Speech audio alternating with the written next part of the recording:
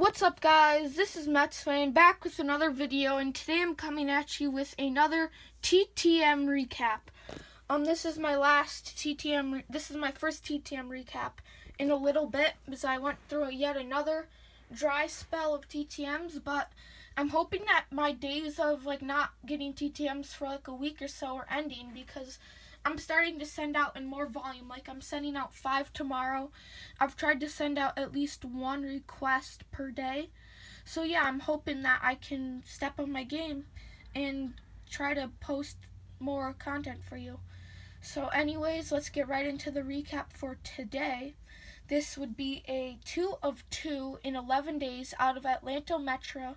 Atlanta Metro. This would be a very solid TTM signer, also a solid major leaguer. He was an all star, World Series champion, closer. This would be Mr. Jay Howell. First on this 1982 Topps rookie card for a duel. I do not think Carlos Lezcano signs, but Ty Waller does, but he does take a little bit. So I'm not sure if I'm going to send this out to them yet, but that's pretty nice, signed beautifully in blue. And then also this 1991 Topps.